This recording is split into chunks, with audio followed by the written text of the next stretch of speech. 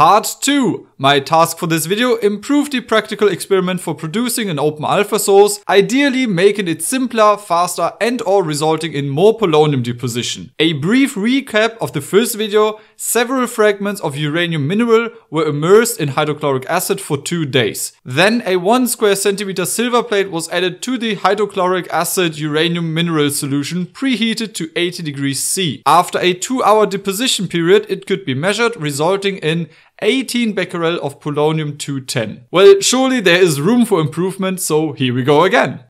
As a note, this video is intended for students who have chosen the nuclear chemistry practical course at the University of Cologne. No one else should replicate what is shown here. We are not only working with radioactive materials, but we are also producing radioactively contaminated acid waste and are working with a highly radiotoxic element that is the polonium source.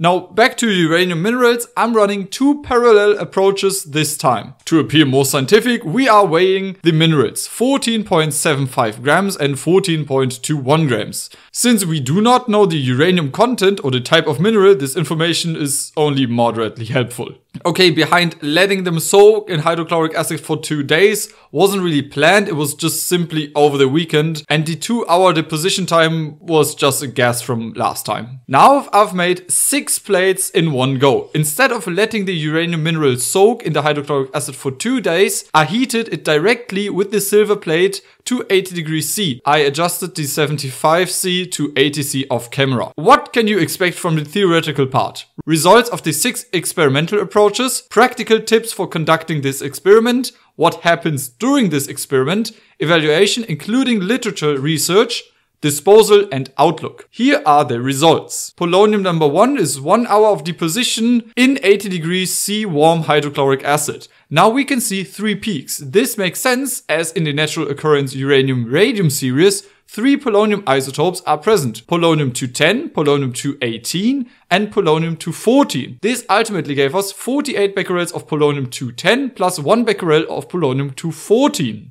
Polonium-2, exactly the same thing, but here we simply swapped the plates. This means the polonium came from the same beaker. I wanted to see how well I could recycle the same approach. In spectrum 3, you could see that two peaks are missing, polonium-214 and polonium-218. This was due to some unfortunate timing. I couldn't measure the polonium immediately after removing it from the solution and was forced to wait from Tuesday until Friday to measure it. This experiment had a two hour deposition time, during which I wanted to find out if collecting for two hours at once or twice for one hour each would make a difference. While the counts suggest that collecting polonium for two hours continuously is not optimal, I will argue the following. We are dealing with a thin layer of polonium on silver and we know that silver tends to tarnish over time, forming a sulfide layer. My guess here is that the difference in counts wouldn't be so high if I hadn't had to wait for such a long time to measure. Whether it's an oxide or sulfur layer,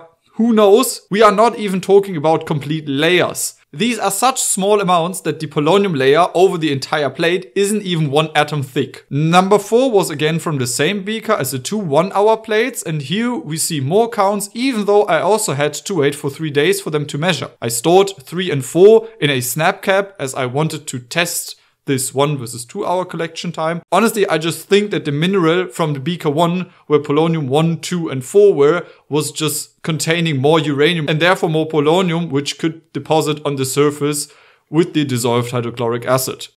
Polonium 5 and 6 had extremely long collection times, so from Friday 6 pm to Monday 10 am. The plates were in hydrochloric acid the whole time.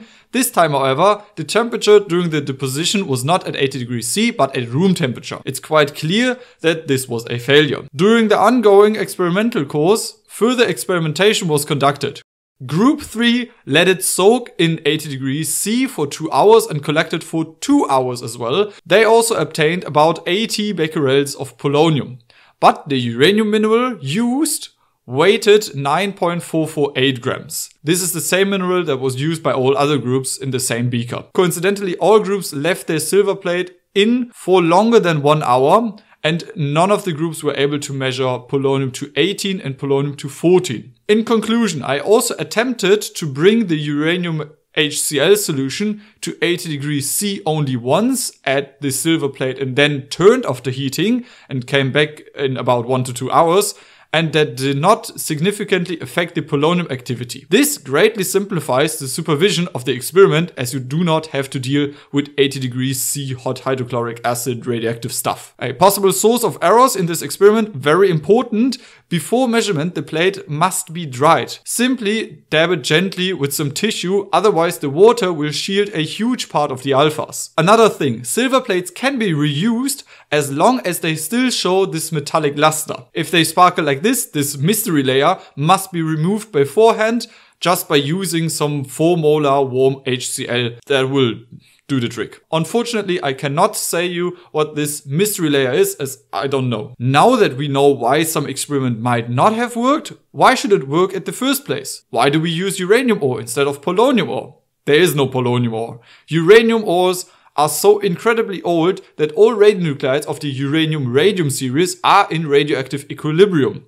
The activity of uranium-238 should be equivalent to the activity of polonium-210. Of course, the uranium-actinium series is also present, but let's just ignore the 0.7% for now. Our best guess still is the same as from the first video, polonium 4 plus reacts with the silver in strongly acidic environment as a part of redox reaction and forms metallic polonium on the surface. This explanation is based on standard potentials and intelligent guessing to be honest. But this video is dedicated about producing measurement values more efficiently. So how much polonium is actually in the uranium ore? The numbers vary widely and hardly anyone cares, so there has been little research on it and you can count the people who have tried to separate polonium from uranium ore on one hand to be honest. Wikipedia says that practically 30 micrograms per ton of pitchblende have been realized.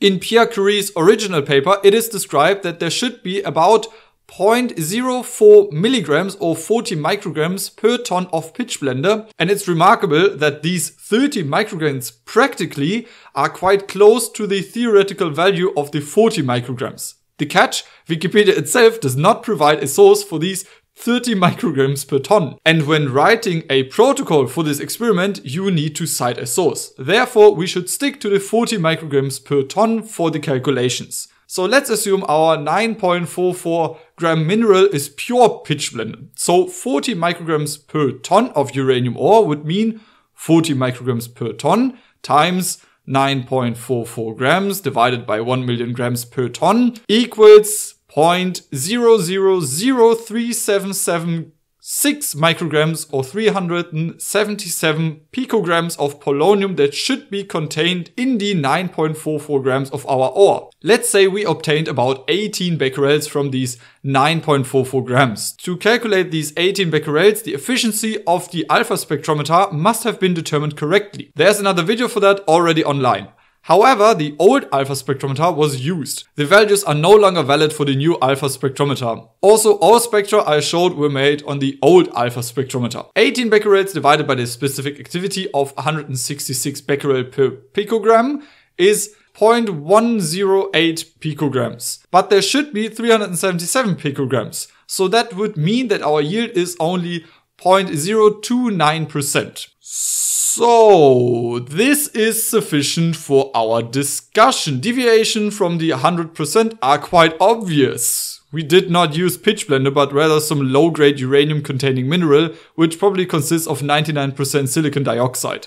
We only dissolved the very top layer with hydrochloric acid, and then only the polonium that was really on the surface could have been dissolved and therefore deposited. Disposal, let it dry, and the assistant will take care of it. Since I am this person, I will naturally continue to do some chemistry with this waste.